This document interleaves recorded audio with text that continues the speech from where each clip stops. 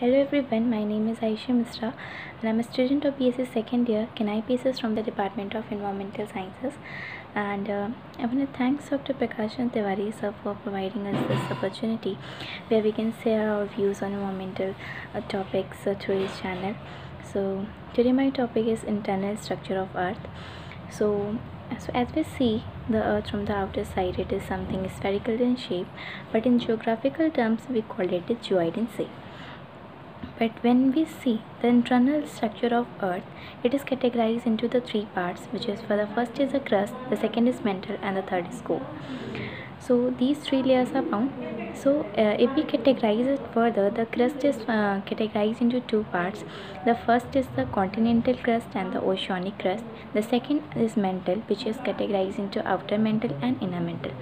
The third is our core which is categorized into outer core and inner core we talk about the property and characteristics of it the crust is solid in nature the second which is mantle it is uh, uh, semi solid in nature and the third which is outer core and inner core in which the outer core it is liquid in nature and the inner core it is solid in nature so why और why this happen कि मतलब ऊपर की solid है semi solid है फिर inner की liquid है और फिर से सॉलिड हो जाती है so why this is happen so as we know कि जब हम डेप्थ में जाते हैं तो टेम्परेचर इंक्रीज होता है। So when we move from the top to bottom the depth increases as a depth increases the temperature increases and as a temperature increase the pressure way also भी increase so the solid is changes into semi solid and the semi solid changes into liquid and when the further pressure is increase the liquid is again converted into solid which is found in the inner core so what are the uh, materials found in these layers if we talk about that? So the first which is crust in uh, उसमें हमारी silicon और aluminium found होता है। The second which is mantle वहाँ पे silicon और magnesium found होता है।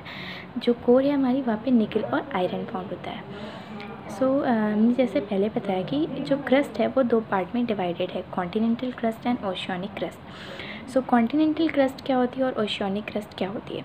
जो कॉन्टिनेंटल क्रस्ट है अगर हम वो देखें तो उसकी थिकनेस ज़्यादा होती है as compare to the continental crust सब लोग कहते हैं कि uh, जो कॉन्टीनेंट है सिर्फ़ वही क्रस्ट है ओशन में तो क्रस्ट है नहीं लेकिन ऐसा नहीं है ओशन के नीचे भी क्रस्ट होती है इसको हम लोग ओशनिक क्रस्ट बोलते हैं।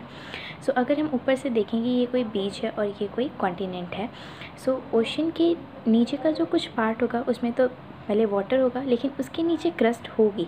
और वो इंक्लूड होती है हमारी क्रस्ट लेयर में वो भी इंक्लूड होती है। सो so, अगर हम देखें कि ये कोई कॉन्टीनेंट ये कॉन्टीनेंट है या ये बीच है तो so, बीच के नीचे क्या होगा? वाटर होगा देन क्रस्ट होगी। कॉन्टीनेंट के नीचे पूरा क्रस्ट होगी। So the thickness of the continental crust is higher as compare to the oceanic crust